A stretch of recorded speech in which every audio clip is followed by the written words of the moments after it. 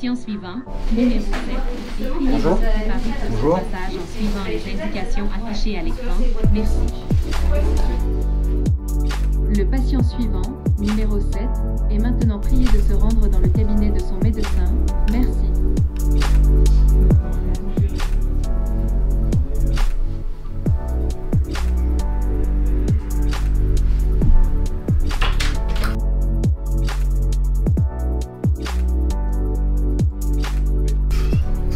Bonjour. Bonjour monsieur, je vous en prie installez-vous. Merci. Je suis le docteur Rondeau.